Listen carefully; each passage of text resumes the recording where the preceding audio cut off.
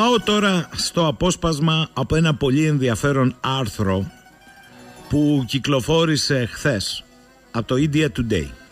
Τίτλος του «Να περιμένετε περισσότερες ανησυχητικές παραλλαγές μετά την όμικρον» υποστηρίζουν επιστήμονες από το Πανεπιστήμιο της Βοστόνης και από το Πανεπιστήμιο και το Πανεπιστημιακό Νοσοκομείο που συχνά επικαλούνται όταν βολεύει το John Hopkins.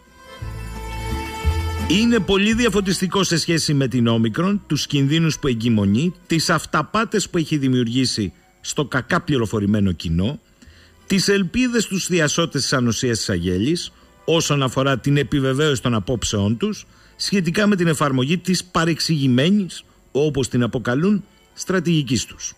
Τέλος, ξεδιαλύνει συγχύσεις που έχουν επικρατήσει τελευταία γύρω από την εξέλιξη της πανδημίας.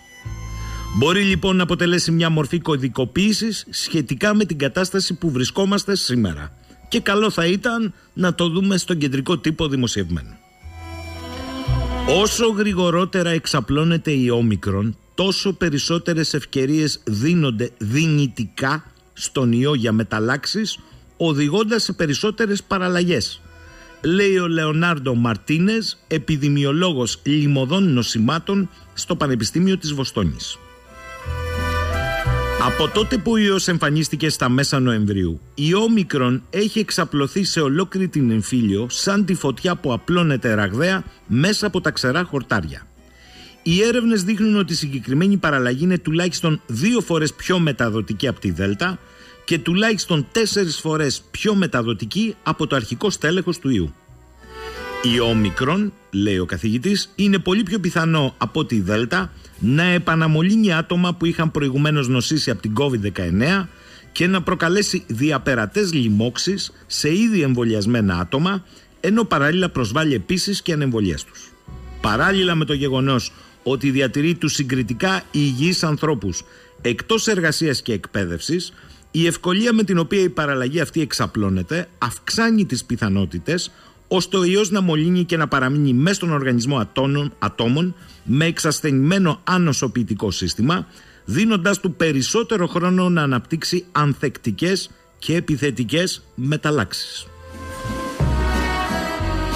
Οι μακροχρόνιες επίμονες λοιμώξεις είναι εκείνες που φαίνεται να είναι οι πιο πιθανές εστίες αναπαραγωγής για νέες παραλλαγές δηλώνει ο δόκτωρ Στιούαρτ Κάμπελ Ρέι, ειδικό σε θέματα λιμωδών νοσημάτων στο John Hopkins. Μόνο όταν έχεις να κάνεις με πολύ διαδεδομένη λίμωξη, τότε θα δώσεις την κατάλληλη την ευκαιρία για να συμβεί κάτι τέτοιο. Επειδή ο όμικρον φαίνεται να προκαλεί λιγότερο σοβαρή ασθένεια από τη Δέλτα, η συμπεριφορά της αυτή έδωσε ελπίδα ότι θα μπορούσε να είναι η αρχή μιας τάσης που τελικά θα καταστήσει τον ιό πιο ήπιο όπως το κοινό κρυολόγημα. Υπάρχει τέτοια πιθανότητα λένε οι ειδικοί δεδομένου ότι οι δεν εξαπλώνονται αποτελεσματικά αν τελικά σκοτώσουν πολύ γρήγορα τους ξενιστές τους. Ωστόσο, οι ιοί δεν καθίστανται πάντοτε λιγότερο θανατηφόροι με την πάροδο του χρόνου. Μια παραλλαγή θα μπορούσε επίσης να επιτύχει τον κύριο στόχο της, τον πολλαπλασιασμό, εάν τα άτομα που θα είχαν μολυνθεί εμφάνιζαν ήπια συμπτώματα αρχικά, αλλά μετέδιδαν τον ιό ερχόμενοι σε επαφή με άλλα άτομα και στη συνέχεια νοσούσαν με μεγάλη καθυστέρηση, διευκρινίζει ο κύριος Ρέι με ένα παράδειγμα. Ο κόσμος αναρωτιέται εάν άραγε ο ιός θα εξελιχθεί σε πλέον υπιότερη μορφή. Ωστόσο δεν υπάρχει ιδιαίτερος λόγος για να το κάνει, πρόσθεσε. Δεν νομίζω ότι μπορούμε να είμαστε σίγουροι ότι ο ιός θα γίνει λιγότερο θανατηφόρος με την πάροδο του χρόνου. Το να καταφέρνει ένας ιός να αποφεύγει προοδευτικά όλο και ευκολότερα την ανοσολογική άμυνα του οργανισμού τον βοηθά να επιβιώνει μακροπρόθεσμα. Όταν πρωτοεμφανίστηκε ο ιός SARS-CoV-2 κανείς δεν είχε ανοσία. Πάντως οι λοιμώξεις και τα εμβόλια έχουν προσδώσει τουλάχιστον κάποια ανοσία σε μεγάλο μέρος του κόσμου οπότε ο ιός αναγκάζεται πλέον να προσαρμοστεί. Υπάρχουν πολύ πιθανοί οδοί εξέλιξης. Τα ζώα θα μπορούσαν ενδεχομένως να εποάσουν και να απελευθερώσουν νέες παραλλαγές του ιού. Τα σκυλιά και οι γάτες ως κατοικίδια, τα ελάφια και τα βυζόν που εκτρέφονται σε αγροκτήματα είναι μόνο μερικά από τα ζώα που είναι ευάλωτα στον ιό, ο οποίος μπορεί ενδεχομένως να μεταλλαχθεί στον οργανισμό τους και να μεταπηδήσει ξανά πάλι στον άνθρωπο. Υπάρχει επίσης και μια άλλη πιθανή εξελικτική διαδρομή. Με την ταυτόχρονη παράλληλη κυκλοφορία τόσο της όμικρον όσο και της δέλτα, ο ανθρώπινος οργανισμός μπορεί να προσβληθεί από διπλές λοιμώξεις που θα μπορούσαν ως αποτέλεσμα να δημιουργήσουν αυτό που ο Dr. Ray αποκαλεί Fracken Variants, δηλαδή υβρίδια με χαρακτηριστικά και των δύο τύπων. Οι επιστήμονες δήλωσαν ότι αν αναπτύσσονται νέες παραλλαγές είναι προς το παρόν πολύ δύσκολο να γνωρίζουμε εκ των προτέρων από τα γενετικά χαρακτηριστικά τους ποιες από αυτές θα μπορούσαν και πώς να εξελιχθούν περαιτέρω. Για παράδειγμα, η όμικρον έχει πολύ περισσότερες μεταλλάξεις από τις προηγούμενες παραλλαγές, περίπου 30 στην πρωτεΐνη ακίδα, που επιτρέπει στον ιό να προσκολάται στα ανθρώπινα κύτταρα. Ωστόσο, η λεγόμενη παραλλαγή IHU που εντοπίστηκε στη Γαλλία και παρακολουθείται από τον Boy έχει 46 μεταλλάξεις και προς το παρόν δεν φαίνεται να έχει εξαπλωθεί ιδιαίτερα. Μεταξύ όλων αυτών θα μπορούσε να προσθεθεί και ένας ακόμη σημαντικός παράγοντας στον για ευνόητους λόγους αποφεύγεται συστηματικά η αναφορά του. Το εμβόλιο έχει σχεδιαστεί με στόχο να βοηθήσει στο να αποφευχθούν οι βαριές μορφές της νόσου και ή δυνατόν ο θάνατος. Μέχρι εκεί. Το εμβόλιο δεν είναι φάρμακο για να θεραπεύσει ή να εξαφανίσει τον ιό. Δεν είναι αντιβιωτικό για να τον καταπολεμήσει. Όχι βέβαια ότι αυτό δεν είναι αρκετό. Συνεπώς, το εμβόλιο δεν είναι να σε εξασφαλίσει σαν ανοσία ούτε να αναστείλει τη μετάδοση του ιού. Επομένως, με ένα τέτοιο εμβόλιο που δεν μπορεί να εξασφαλίσει την αποφυγή αυτών των δύο παραμέτρων, ο ιός εξακολουθεί να λειτουργεί πρακτικά ανεμπόδιστα. Επιπλέον, δέχεται μικρή πίεση η οποία του επιτρέπει και να διαφεύγει αλλά και να εξελίσσεται. Περίτρανη απόδειξη τόσο η παραλλαγή Δέλτα, εξαιρετικά παθογόνος και θανατηφόρος, όσο και η όμικρον που είναι εξαιρετικά μεταδοτική. Η εξαιρετικά μεγάλη διαφυγή από την ανοσολογική απόκριση που παρουσιάζει η τελευταία αυτή παραλλαγή δεν υποδηλώνει μόνο την ανεπάρκεια του εμβολίου από τη μια και τις ικανότητες του ιού από την άλλη, αλλά αναδεικνύει ταυτόχρονα και μια εφιαλτική προοπτική δεδομένου ότι ο ιός σήμερα έχει τη δυνατότητα να μεταδίδεται ραγδαία και σχεδόν ανεμπόδιστα, εάσχετα αν η επιπτώση του πάνω στην πλειοψηφία των προσβεβλημένων ατόμων είναι λιγότερο επιβλαβή σε σχέση με τις προηγούμενες μεταλλάξεις. Επομένως κανείς δεν είναι σε θέση να προβλέψει ποια θα είναι τα χαρακτηριστικά της επόμενης παραλλαγής. Κατά πόσον δηλαδή θα υπερτερεί το ένα ή άλλο χαρακτηριστικό στοιχείο, δηλαδή η μεταδοτικότητα ή η νοσογόνος δράσης του ή ακόμη και ο συνδυασμός των δύο. Πρόκειται για μια γενετική ρουλέτα που κανένα μοντέλο ανθρωποκεντρικής αντίληψης δεν είναι σε θέση να προβλέψει, αλλά ούτε καν να προσεγγίσει. Για ακούστε τι είπε ο Πόη για το θέμα αυτό. Οι ειδικοί δεν κάνουν σαφή εικόνα της εξέλιξης του κορονοϊού μέχρι στιγμής, όπως συμβαίνει με τη γρήπη ή το κοινό κρυολόγημα. Αυτός ο ιός, λέει ο Πόη, εξακολουθεί να εξελίσσεται. Πώς θα είναι λοιπόν η επερχόμενη παραλλαγή, δεν έχουμε την ίδια προβλεψιμότητα που έχουμε με τη γρήπη. Η δήλωση ανήκει στην κυρία Μαρία Βαν Κέρχοβ, επιδημιολόγο λιμωδών νοσημάτων και επικεφαλής των τεχνικών υπηρεσιών για την COVID-19 στον ΠΟΗ. Παρέχοντας περισσότερες διευκρινήσεις σχετικά με τη δήλωσή της, η κυρία Κέρκοβ έκανε μια ανάρτηση προκειμένου να επισημάνει ότι ο κόσμος χρειάζεται περισσότερα δεδομένα όσον αφορά τη διαχείριση του ιού.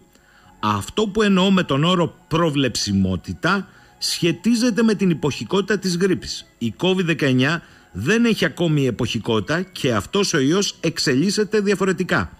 Σε παγκόσμιο επίπεδο χρειαζόμαστε ολοκληρωμένη επιτήρηση των αναπνευστικών λοιμόξεων. Το σύστημα WHO-GRS είναι το παγκόσμιο σύστημα επιτήρησης και αντιμετώπισης της γρήπης.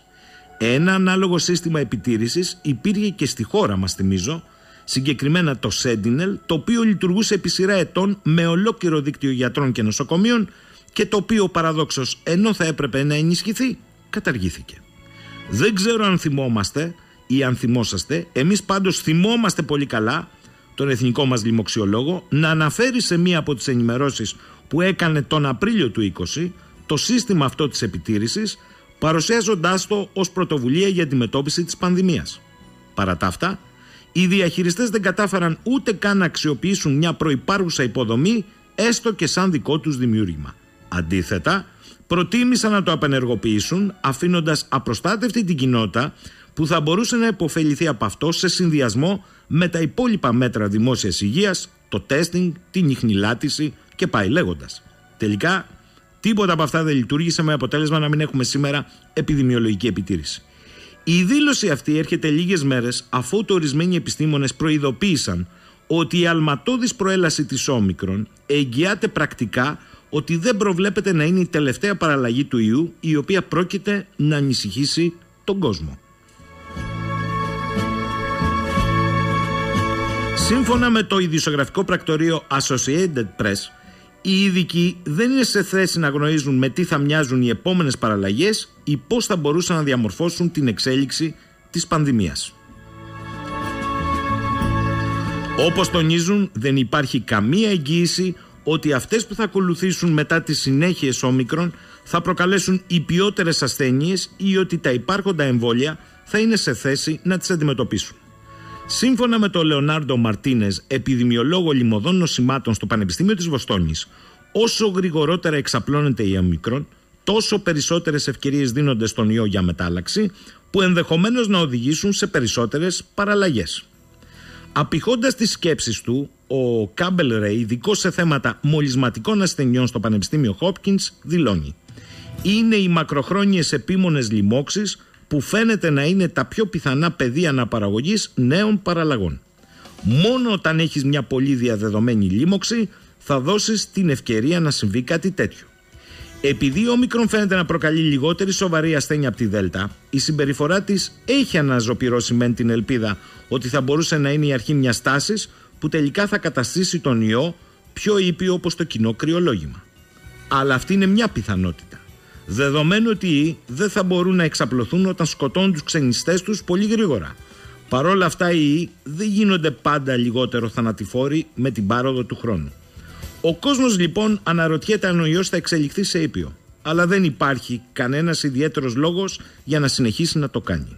Δεν νομίζω ότι μπορούμε να είμαστε σίγουροι ότι ο ιός θα γίνει λιγότερο θανατηφόρος με την πάροδο του χρόνου. Αυτό λοιπόν που έχει σημασία στην τωρινή φάση της υψηλής μεταδοτικότητας και της εκτεταμένης διασποράς είναι ο περιορισμός της κινητικότητας του ιού, περισσότερο από κάθε άλλη φορά. Η μέθοδη είναι γνωστή. Μέτρα δημόσιας υγείας πρωτίστως και δευτερευόντως μέτρα περιοριστικά. Η στρατηγική θα έπρεπε να είναι zero covid, δηλαδή μηδενικά κρούσματα. Και αυτό γιατί δεν ήρθε ακόμη η ώρα να ζήσουμε τον ιό όπως λένε κάποιοι. Κάποιοι που δεν κατάφεραν να τον αντιμετωπίσουν γιατί δεν ήξεραν και γιατί νόμιζαν ότι είχαν να κάνουν με κάτι που μπορούσαν να χειριστούν, με δυσκολίες βέβαια, αλλά και με συνέπειες που επιβαρύνουν άλλα νοικοκυριά εκτός από τα δικά τους. Στην ουσία δούλεψαν περισσότερο για να διαχειριστούν τις συνέπειες και το κόστος που είχε η διαχείριση της λέλεπας πάνω τους, παρά για να σταματήσουν την ίδια τη λέλεπα την ώρα που εκείνη σάρωνε την κοινωνία. Ωστόσο, αυτό που ενδιαφέρει τις οικογένειες των νεκρών και όλους αυτούς που πέρασαν τη δοκιμασία της νόσου και παραμένουν στη ζωή με βλάβες που ακόμη δεν ξέρουμε αν θα είναι ανίκεστες, δεν είναι ούτε η κριτική ούτε το κόστος που θα πληρώσουν κάποια στιγμή οι διαχειριστές, κάτι που ήδη άρχισε να γίνεται σε άλλες χώρες. Είναι η ηθική και η σωματική τους αποκατάσταση. Όσο για τους υπόλοιπους, αυτό που έχει σημασία είναι η εξασφάλιση προστασίας τους που καθημερινά διακυβεύεται.